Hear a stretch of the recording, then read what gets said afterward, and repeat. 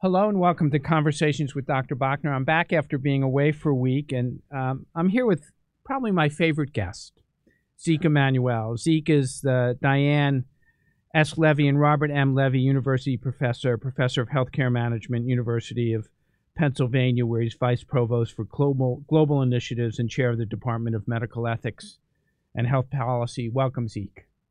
It's great to be here, and thanks for the uh, flattering comment. Well, uh, I won't take it to heart, but I'll tell my mom to listen. Oh, you can take it to heart. Uh, you have such you have just a really fine mind, so I always appreciate it. Well, thank you. So it'll be wide ranging, Zeke. But let's start. You know, before we came on, I mentioned, you know, have we become immune to the number of deaths? I, I count 170,000 deaths, a thousand a day to the end of the year gives us 300,000 and then the estimate is at about 50% more are COVID related, but not COVID counted. That, that brings us almost to a half a million deaths. Have we just become immune to it? Uh, yes, I do think the fact that we're, that we're not shocked every day that we're losing a thousand people, uh, that somehow we can dismiss it as oh, the just the elderly or something, which is totally false. Uh, has made us somewhat uh, immune. And we know, uh, inured, as you say, we know that you know something happens over and over again. You sort of block it out. But to put in context, half a million deaths uh, is a little under a, a increase in 20% of all deaths every year. So we have about 2.7, uh, 2.8 million deaths in the United States. And again, even among those deaths, 75% of them are uh, in people over 65. Uh, they're seniors. Uh, but you know, 500,000 is a very whopping chunk of that from one illness that you know began killing Americans in late February. Uh, and I do think uh, we've lost sight of how powerful that is. Uh, you know, as you said, a thousand people a day is you know a plane full of 300 people, uh, three of them dropping out of the air every day. That that would shock us if we actually st- step step back, or a thousand people dying from a hurricane. That's a shocking number.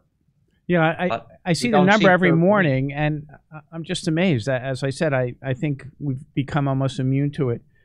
Uh, so, I, I, also think early early yeah. in the this epidemic, people had no idea. When when I began talking, you know, months ago about we're going to have a quarter of a million deaths by November, people were like, "No, you know, you're exaggerating." And it's like, yeah, that's easily going to be the number right. uh, by November first, election day um, so many different issues have come up. Um, schools have become a nightmare.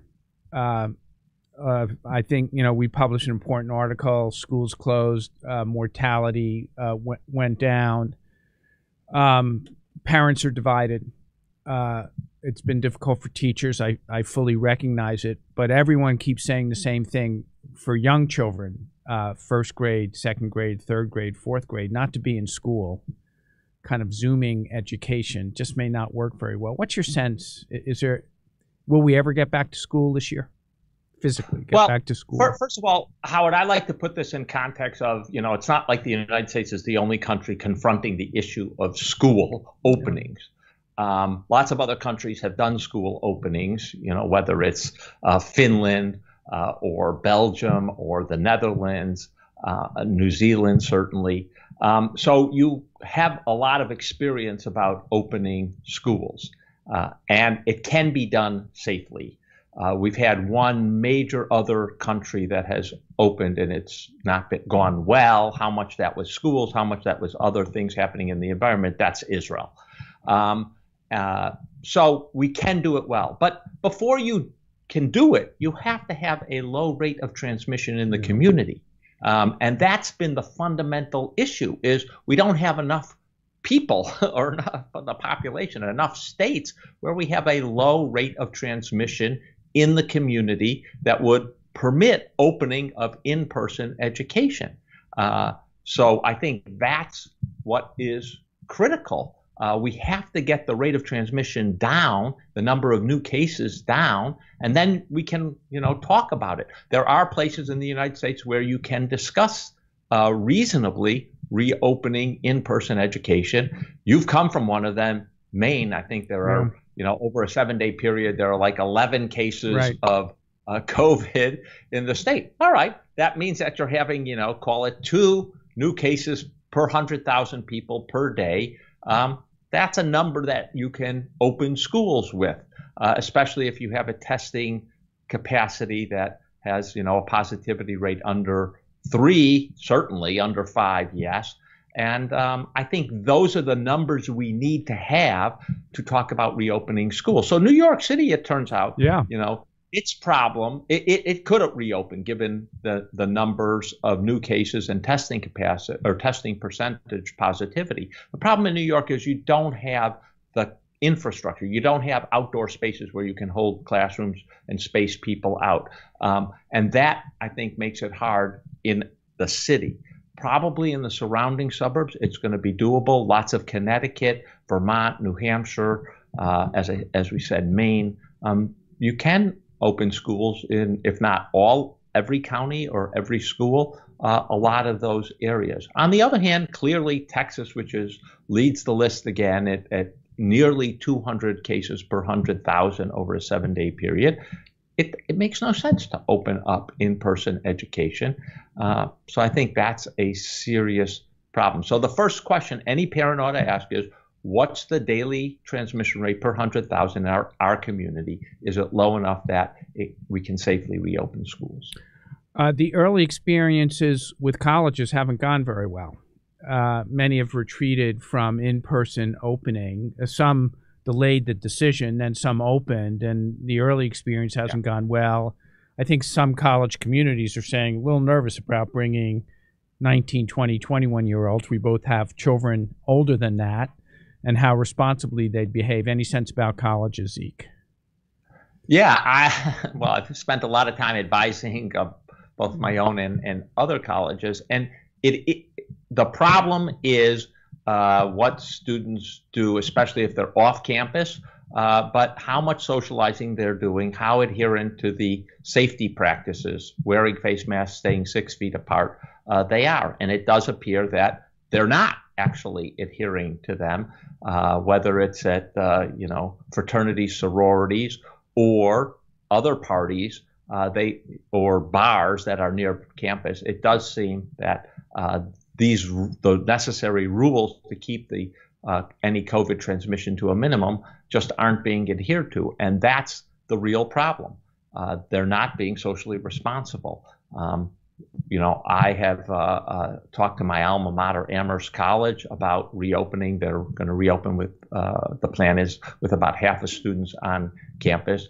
Uh, they tested the faculty and staff, and uh, almost a thousand tests, all negative. Um, but they're worried about a few students who are renting houses off campus to avoid the uh, strictures of living on campus, and, and that is the worry that they're going to throw parties there. And uh, I think that's a very sad commentary on how we've not inculcated in people social responsibility, responsibility for others, actually adhering to rules. Um, you know that we expect those kind of behaviors. I, I don't know. It's it's a little sad that that's what you know our image of college life is, and therefore uh, what we've communicated to students uh, uh, about their responsibility. What's gone well?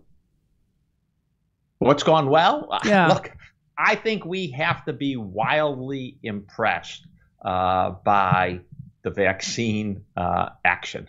Um, uh, you know, the number of shots on goal, as you say, you know, number of potential candidate vaccines, vaccines that rapidly entered humans trial that we're now got, uh, I think it's seven in phase three yep. trial. That is pretty impressive. Uh, you have to be wowed by the scientific prowess that represents.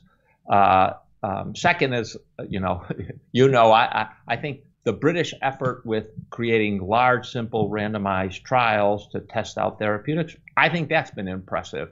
They got it up and running uh, in March and uh, quickly were able to generate uh, thousands upon thousands of people randomized uh, and get evidence right away of uh, what's working, what's not working.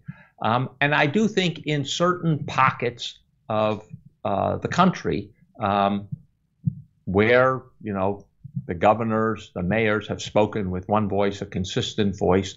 Uh, I think uh, people wearing masks, adhering to social distancing. You have seen, and New York is a very good yeah. example. You've seen a dramatic decline and a persistent decline. You haven't seen a, a second bounce. We will see a second bounce. That's inevitable. Uh, but I do think that it shows that the public health measures work. You don't need a um, magic uh, uh, uh, um, pharmaceutical or vaccine yet. You can get the numbers down low with the public health measures, and they can stay low. You need good leadership for that. You need consistent messaging, uh, but uh, the public is willing to listen, and I think that's been a positive sign. And I will say we've learned a lot about the um, negative effects of opening indoor dining, indoor yeah, bars, yeah. indoor gyms right away.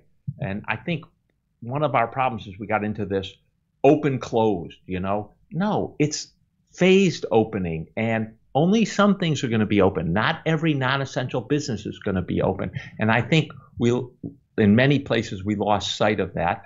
Um, I saw statistics uh, or heard a statistic from the uh, public health person in Los Angeles saying that the day they opened indoor dining and bars, they have 10 million residents in LA. 500,000 of them went to restaurants, bars, and other locations. And it's like, you want to know why you had a, a resurgence? Yeah. You know, it doesn't take a, a, genius to figure it out there. And uh, those should be among the last places open. And yet, because, for all sorts of reasons, quite understandable, but not good, uh, they were among the first to be reopened. And that was a mistake. The, the other thing that I, I actually think we've done well, because the epidemiology was so clear by March or April, uh, you really yeah. have to protect the elderly. It's unbelievable. I, I mean, their mortality rate, once you're 65, 70, 75, or 80, is just enormous. And I do think we've done a really good job in protecting the elderly over the last couple months. And I, I think you see it in the ratio of number of cases to deaths, which is much lower than it had been. So I do think that is the one thing that we we've learned and we've done relatively good at. I, but I, the number of cases in the young people has gone up. Yeah, it's got, it's it's skyrocketed. Yeah, yeah, yeah. No, no, we had. I, I I do think that is true. We did learn who was vulnerable, and I think moved relatively expeditiously uh, uh, in that direction. I, I want to go back to vaccines. I I, I think um, you know, there's been a uh, we've published a, a, major study from China, phase three. There's been others in in the uh, uh other major journals, the more experimental uh, uh vaccines.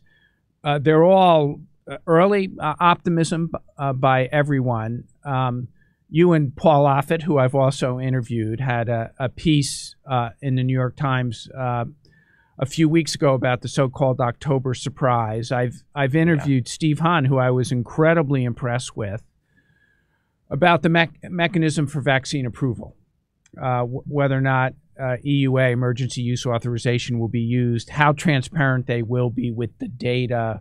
Will they allow the external advisory board to really drive the final decision uh, by the FDA? How are you thinking about it? Well, um, I have great respect for Steve Hahn. Uh, I think he is uh, uh, a man who wants to do the right thing. Um, I think he's under tremendous pressure from everyone, as you might imagine. And I think until you've sat in the decision making chair of a federal uh, uh, uh, bureaucrat who has to make a critical decision, you can't understand all the political pressures. But, you know, there are literally lives at stake in whether you approve something or not. There's the trust in the vaccine process. There's all the political pressure that's going to be brought to bear on him. Um, I don't envy him one iota. Um, and I do think he has tried to make clear that his North Star is going to be, you know, we need the data uh, and we need to have, you know, the scientific evaluation be proper and careful. And I think, you know, uh, I'm feeling better about it.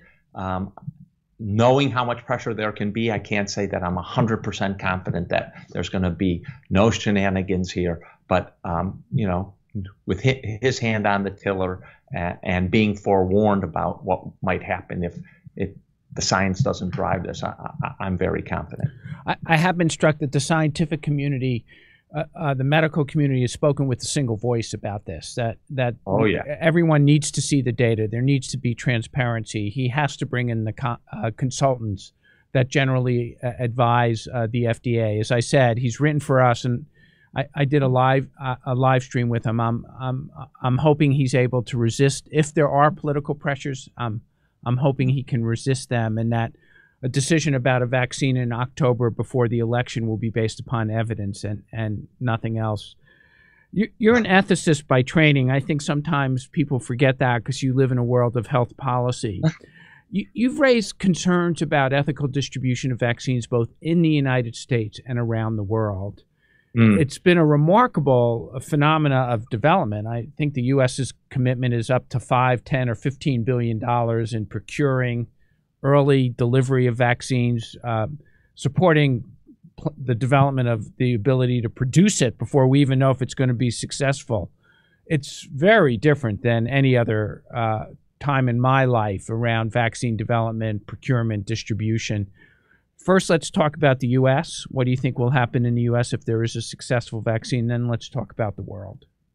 Well, look, I think inevitably, uh, Howard, one of the problems is you're not going to have enough vaccine out of the box. So even with the advanced purchases, even with some of the vaccines being relatively easy to produce, um, you're only going to have tens and maybe under optimal circumstances, 100 million doses, you know, call it before the end of the year. Um, you know, 100 million doses is really good, but it still represents a third of the population of the United States. It's not enough for herd immunity, even under the more recent revised calculations, which I have to say I'm somewhat skeptical of, right. uh, where we only need 45 to 50 percent of the population right. vaccinated for herd immunity. So you know, it, it, you're going to have to prioritize, and I think that's going to be a difficult uh, ethical decision. Uh, one thing I, I would say is that in that prioritization, we have to keep our eye on the ball. And I think people are misinterpreting the ball here. So the primary goal is, I think, to reduce uh, premature mortality of people. Um, now, a lot of people assume, oh, well, that means healthcare workers get it first, and then the uh, people who are uh, uh, at highest risk get it first. That may not be true. That may not be the best way to reduce premature mortality. It may be better uh, to, for example, uh, immunize people who are at high risk of transmitting the virus, both because of jobs, living situations, and other circumstances. Um, and that, I think, you know, we have to leave an open mind and look at uh, some detailed modeling about what the best way is to reduce um, uh, the premature mortality. And that you know, we should not rush rush to an assumption about, you know, it's high risk people that need to get the vaccine first. Um, so I, I do think that's uh, going to be critically important uh, in thinking about who gets the vaccine uh, initially. And, uh, you know, it may or may not be healthcare workers. Certainly at uh, uh, Penn, um, we've seen the transmission among healthcare workers now that everyone knows how to don and right, doff uh, PPE. It's basically gone to zero, uh, uh, both acquisition from patients and colleagues. And you know, so I don't know that health frontline healthcare workers are necessarily the first. Uh, uh, ought to be necessarily at the highest priority, given that they can don and doff uh, PPE effectively. Payment going to be an issue in the U.S. Zeke? Well, the government has said it's going to pay for it. Okay. Um, so it, it's acquiring all the doses and going to distribute them. That's like when what we did under H1N1. I might say that you know just having the vaccine and actually having it produced is not uh, that's necessary but not sufficient. You actually have to put it in vials. You have to fill, finish it in a sure. sterile fashion. You actually have to have enough uh, syringes and needles. We t- take all of this for granted, but I don't think we've had a uh, any case where we're planning to do call it 250 or 300 million people, not once, because the the actually vaccines that are going to get approved out of the box are almost all going to be two shotters. Um, you're going to need two doses separated by three to four weeks, and I think that's you know not a good uh, you know there could be a lot of bottlenecks there, and I don't think the, as far as we can tell, and we did a report for the Center for American Progress on this, that the administration has well worked out each one of the potential steps. So that worries me as well that we're, we're going to find ourselves, yes, we can produce the vaccines, but guess what? Um, you know, getting them into vials, shipped out, distributed, and into people's arms. Those each one of those steps are prone to, to a, a bottleneck. Uh, WHO is trying to raise 15 to 20 billion dollars for world purchase of uh, vaccines and then sort through an e- ethical approach to distribution. Um, right. Uh, let's take put the money aside. Let let's say you could give the WHO a billion doses, uh, 500 million doses.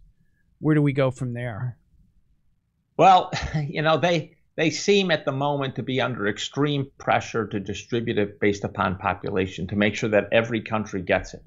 And that does fulfill one important ethical principle, which is uh, equal concern for countries. Uh, but it fails the principle I mentioned before that you really want to minimize premature deaths on the notion that, uh, you know, death is uh, a total deprivation um, and you can't compensate people for it. Uh, and it's uh, very severe. Um, so if you want to minimize the harm of premature death, you don't actually distribute it evenly among countries. You concentrate on countries that, at the moment when you have the vaccine, have severe the severe hotspots um, and where the vaccine is going to make the biggest difference in terms of reducing premature death.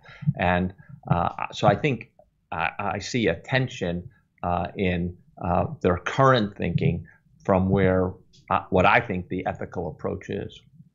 Will uh, the U.S., Germany, Japan, the wealthy countries get vaccine first? Uh, almost inevitably, they're going to get vaccine first. The, I think the real question is: Is there going to be enough extra to make sure that uh, it's fairly and equitably distributed? That there's enough for uh, low and middle income countries. Uh, now, you know, the negative thing is that there's a, a lot of pressure for vaccine nationalism. We saw this, you know, and the United States on this is not unique. You know, France, when Sanofi announced that it was going to send the first doses to the United States, France went berserk. Correct. Uh, the French population went berserk. Um, you know, wait, this is a French company. A, we've supported you all these years, and now the U.S. is going to get the fruits here. Um, so, you know, we need to recognize this as a very common human instinct, um, uh, and I think that there are uh, actually good ethical reasons for it. Um, on the other hand, uh, you know, there is this effort by the WHO, Gavi, and CEPI to create this pool of money. They will be able to buy some vaccine. In addition, you know, some va- major vaccine manufacturers such as AstraZeneca have pledged to distribute the vaccine fairly and equitably. And so uh, I do think we have uh, a, a reasonably good chance of having a fair number of doses that will be distributed among low and middle income countries that, uh, you know, left to market forces would not be available. Uh, China's played an interesting role. We uh, published a phase two study uh, about a week or 10 days ago. It's more of a traditional vaccine. It appeared to have lower yeah. adverse events than, than, the other vaccines. Uh, they're moved rapidly into phase three. Given their population, I suspect they were they may easily report out phase three data uh, first. Um, the Chinese always seem to have an interesting world policy. They've invested around the world in different ways. Can you imagine them being the world provider of vaccine? Well, again, part of the issue of traditional vaccines is the production process, um, a little more challenging than the uh, RNA uh, vaccines. Um, and so that may turn out to be uh, a rate limiting factor. But I think, uh, frankly, they're more likely to use it in a political fashion, and I think we should, you know, see that for what it is. Um, I, I, as you know, Howard, one of the things I like to do is uh, read and think about history. Right. You know, one of the great American achievements, maybe one of the greatest in the 20th century, and we had a number of them, was landing a man on the moon.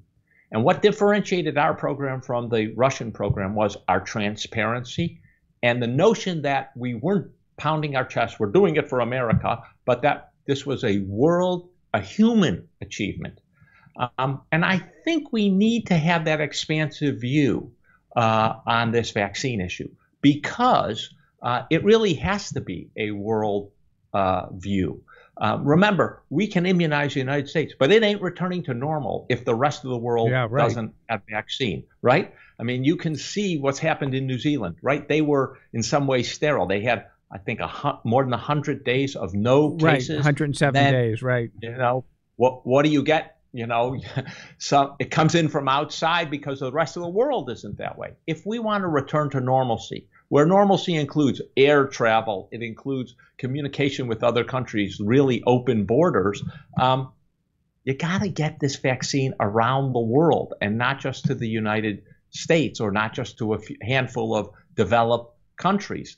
And I think that's got to be our approach and that's got to be our direction. It's going to be good for us and good for the world. And sort of having a very narrow minded self interest uh, I think is not going to be good for the United States. Bob Redfield, Tony Fauci, many others have really talked about the tremendous concerns about the fall. I mean, we're still at 40, 50, 60,000 cases nationwide. We really would like to be under per 10 day. per day, sorry, per day. Um, I mean, Bob couldn't have been clearer, and Tony. Social distance mask, we have to get under 10,000 cases per day throughout the U.S. I know there's pockets. Flu comes in the fall. We have to have a massive flu vaccination campaign. Uh, any sense, any crystal ball of how it's going to play out in the fall, Zeke? I, I agree with them. I've been worried about the fall from day one, and I think our early evidence that when you open up indoor bars, indoor restaurants, and etc., that you get these resurgences uh, has to make you worried yeah. about the fall when things get cold. Forget flu for a second. When things get cold, now add on flu, another respiratory uh, virus, um, and you have a serious problem. And add on the fact that we have a vaccine, but typically in a typical year, only 45% of adults get right. vaccinated. And our usual, many of our usual sites of vaccination, the workplace, schools, are going to be absent. We're not going to be able to vaccinate people through those mechanisms. It is really worrisome. We could use, right? We have flu vaccine is available today. I know because on Monday I got my shot, right? Two days ago I got my vaccine, my flu vaccine. We could could have used, if we have thought about it, this moment early in the uh, late summer, early fall to try out a new vaccine strategy, our expanded vaccine access.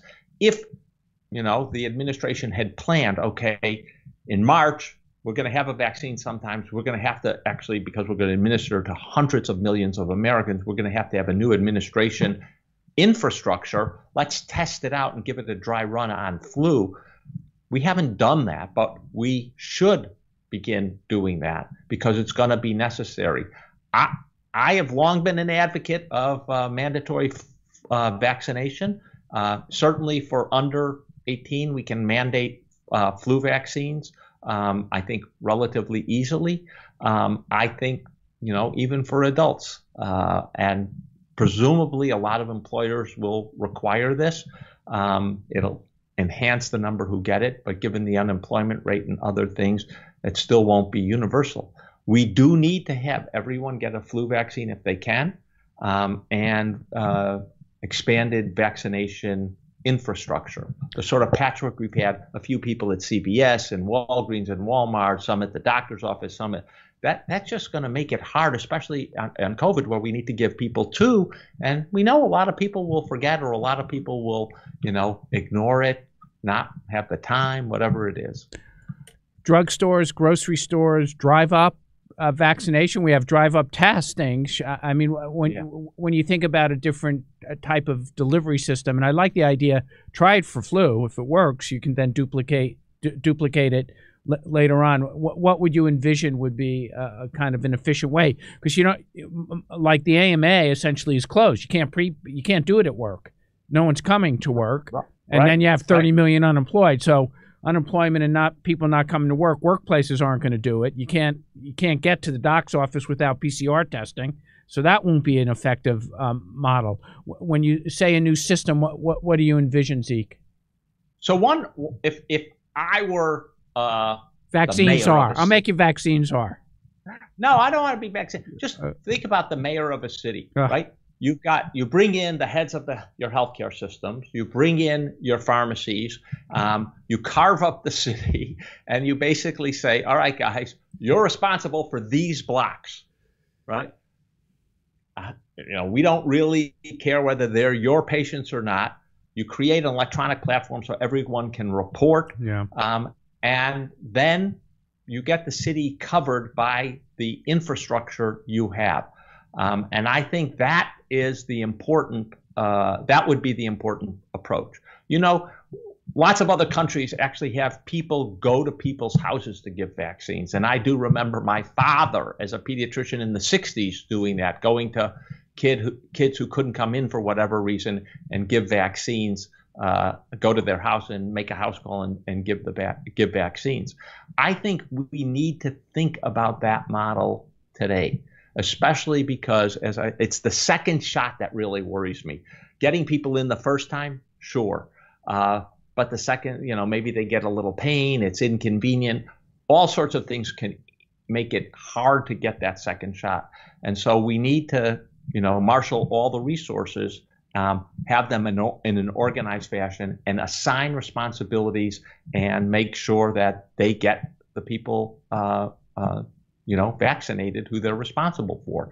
Um, but I think breaking it up by geography, assigning geographies to whether it's health system or stores or whatever, uh, pharmacies, is probably uh, uh, the way I would go at the local level.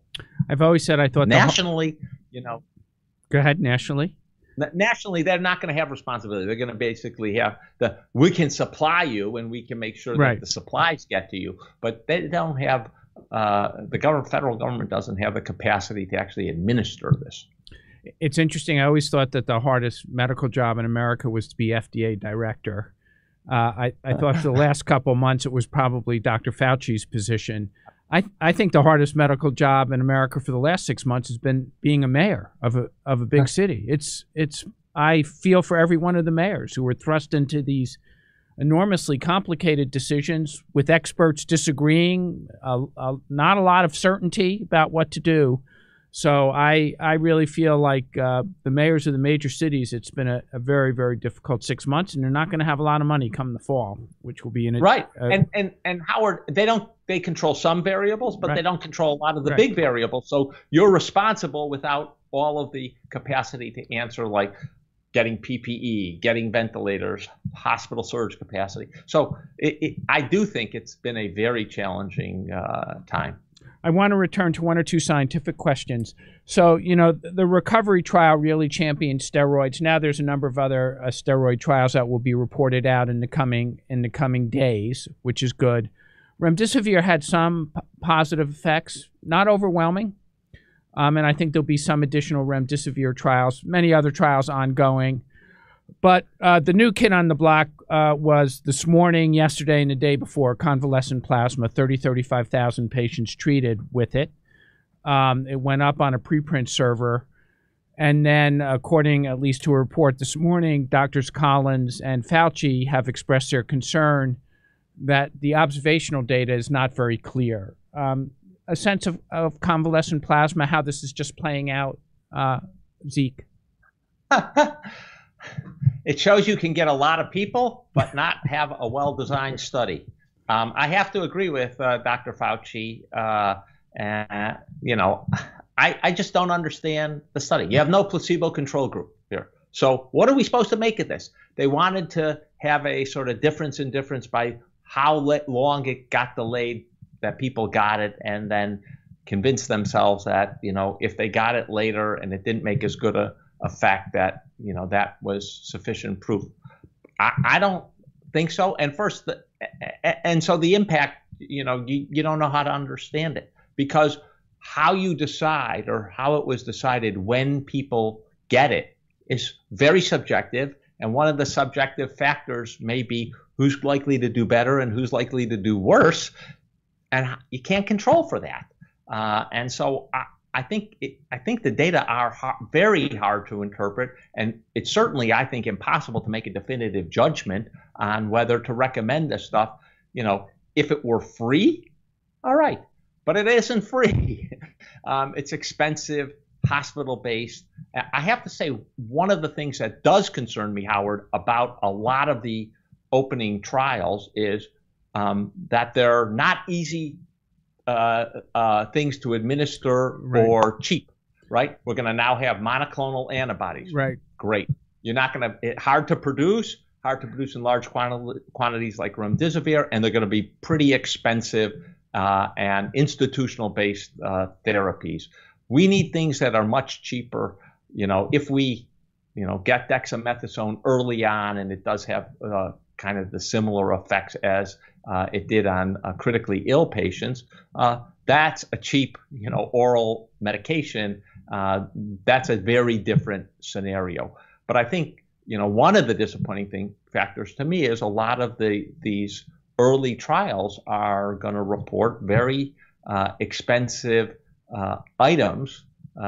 interventions that for that have to be administered in hospitals uh, may be financially lucrative, but is not the kind of thing that can be scaled uh, effectively or easily, it seems to me. And certainly uh, can't be used in the prophylactic or for mild cases. Right. The, the other issue is that many of them are struggling to enroll patients, and so many of them may may may end up reporting preliminary results that are underpowered, which will even make it more difficult to really understand the true impact for various reasons knowing what recovery did in the UK yeah. and the fact that we're underpowered on these trials when we have, you know, all these cases right a day uh, throughout the country, that's disappointing.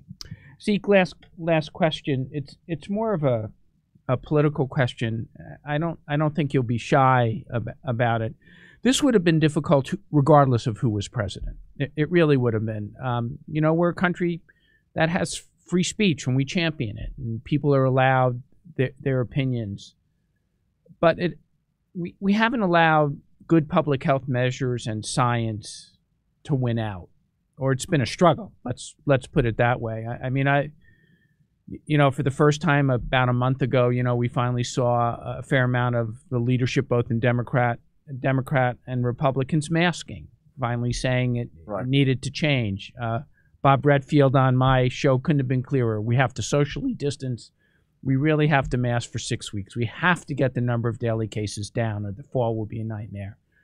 Um, you know, virtually all uh, of the medical leadership has now spoken with a single voice, but we have struggled with the public.